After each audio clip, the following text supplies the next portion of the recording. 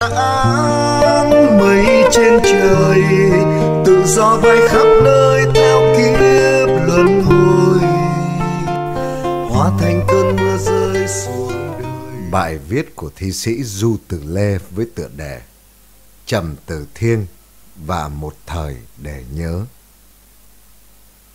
Ở thế hệ thứ hai của sinh hoạt 20 năm âm nhạc miền Nam, tính từ năm 1954 tới năm 1975, nếu có một người lặng lẽ nhất trong mọi sinh hoạt, khiêm tốn nhất trong mọi sự xuất hiện, thì có lẽ đó là nhạc sĩ Trầm Tử Thiên Thuộc thế hệ âm nhạc thứ hai, thế hệ lớn lên từ xương thịt miền Nam Việt Nam với những chói lòa của dòng văn chương Mai Thảo, Nguyên Sa, Vũ Khắc Khoan, Doãn Quốc Sĩ và những ca khúc trữ tình của Dương Thiệu Tước, Lê Thương, Phạm Đình Trương, Văn Phụng, Cung Tiến, Phạm Duy, dòng văn học nghệ thuật từ miền Bắc vượt Bến Hải vào miền Nam.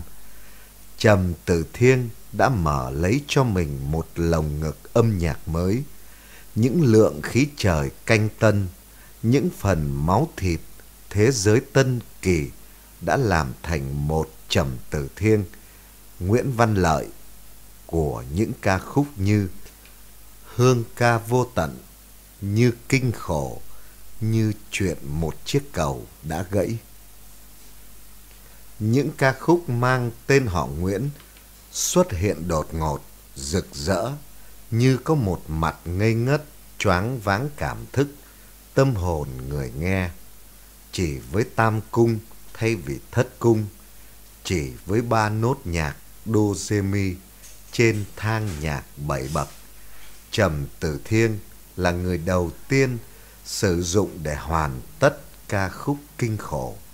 Một ca khúc bất hủ, ca khúc dựa trên thang âm đều đặn của tiếng mõ. Tiếng mõ nhịp đập chính của trái tim Phật giáo hay trái tim dân gian Việt Nam. Nhưng đâu là chân dung Trầm từ Thiên? Rất ít người có thể thỏa mãn câu hỏi từng được cất lên ở hai miền Nam Bắc trong những năm tháng đầu thập niên 60 kéo dài tới giữa thập niên 70. Rất ít người có thể thỏa mãn câu hỏi từng được cất lên trong các cộng đồng người Việt lưu vong ở khắp mọi nơi. Sau khi những ca khúc lớn lao, lồng lộng của họ Nguyễn được những thước băng nhựa chuyển tới những tâm hồn Việt Nam, luân lạc như lưu vong khúc của người Việt Nam, có tin vui giữa giờ tuyệt vọng, như một đời áo mẹ áo em như hãy vui lên khi lòng còn biết buồn. Hoặc những ca khúc họ Nguyễn viết chung với nhạc sĩ Trúc Hồ, một người trẻ, niềm hãnh diện của tuổi trẻ ở hải ngoại. Đó là những ca khúc như bước chân Việt Nam, bên em đang có ta hay một ngày Việt Nam, vân vân câu hỏi khó được trả lời một cách thỏa đáng bởi vì sau bao nhiêu năm ở quê người tài hoa và trí tuệ vạm vỡ kia trái tim bát ngát nhân bản nọ vẫn là một con người lặng lẽ nhất trong mọi sinh hoạt khiêm tốn nhất trong mọi xuất hiện. Con người đó chính là Nguyễn Văn Lợi, người thầy giáo hiền hòa một thời với bảng đen phấn trắng.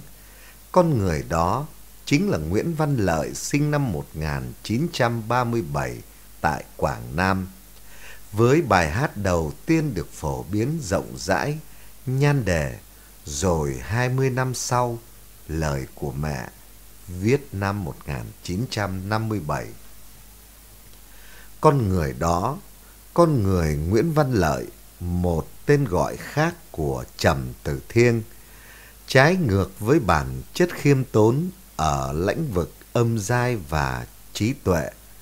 ông lại luôn là kẻ mở đường xốc tới những cánh rừng tâm linh nhân bản chưa người khai phá con người đó con người trầm tử thiêng trong nguyễn văn lợi trái ngược với bản chất lặng lẽ lại luôn là kẻ gieo mình lên đỉnh đầu những ngọn sóng quê hương, chọn đứng treo leo trên những đỉnh dốc dân tộc và tổ quốc.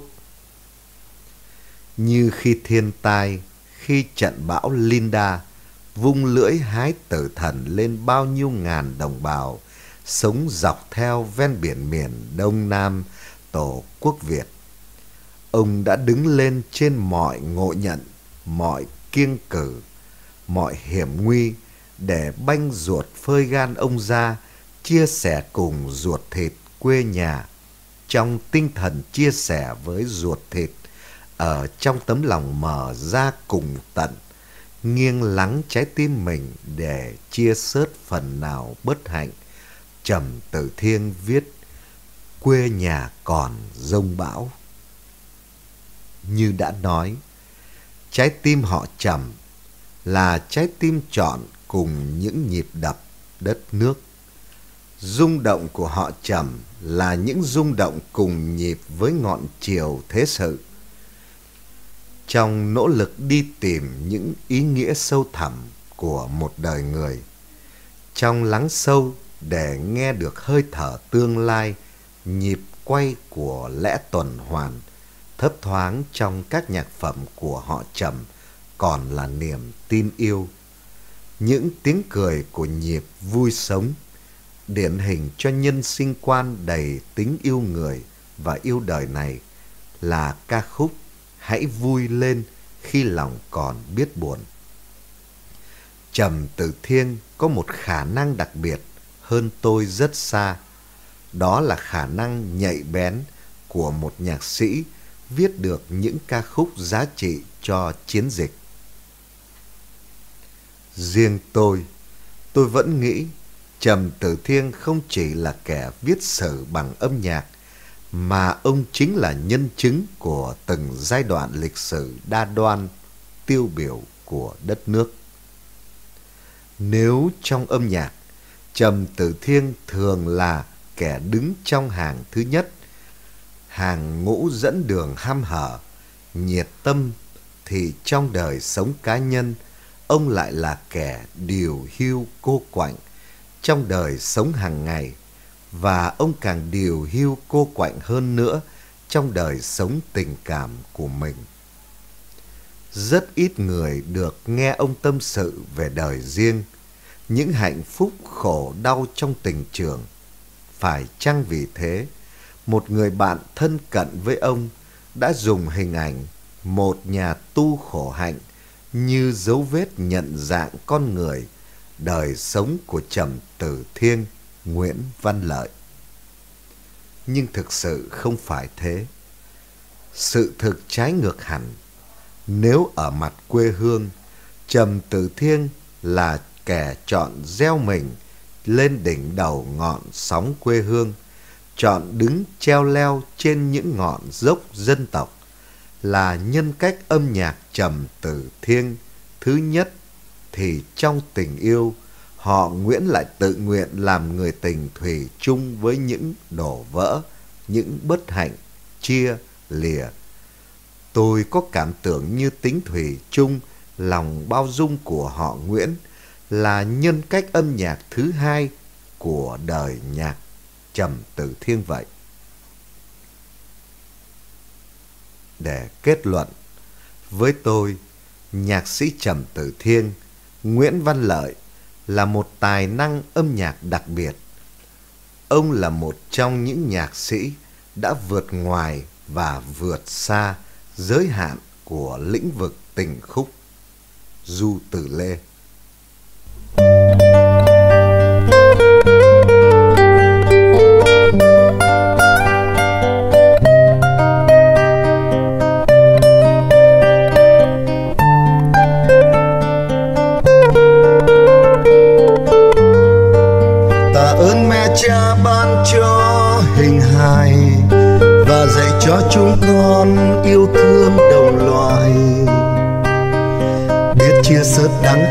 ngọt bùi người sống với nhau còn đừng gian dối.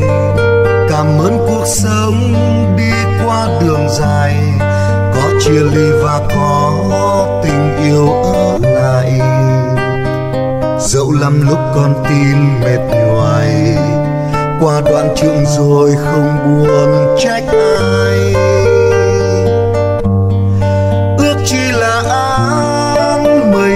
Trên trời, tự do bay khắp nơi theo kiếp luân hồi. Hóa thành cơn mưa rơi xuống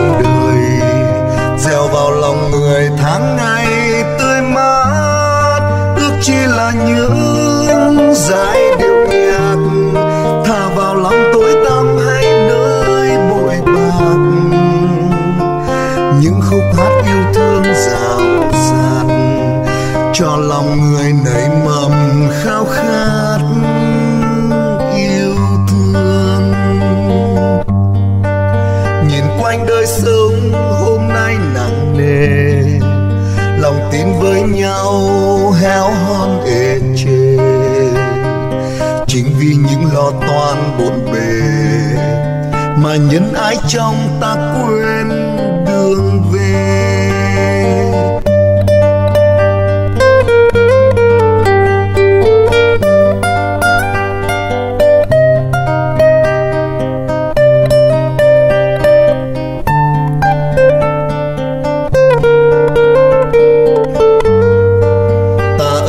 Cha ban cho hình hài và dạy cho chúng ta biết yêu đồng loài.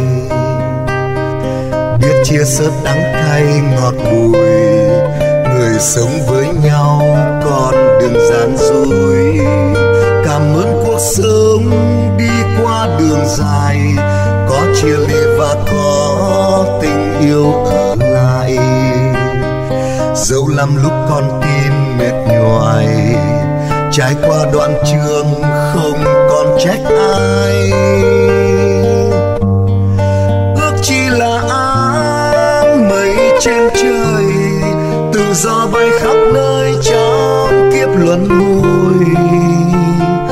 Hóa thành cơn mưa rơi xuống đời, gieo vào lòng người tháng ngày tươi mát. Ước chi là những dài vào lòng tối tăm hay nơi bụi bặm.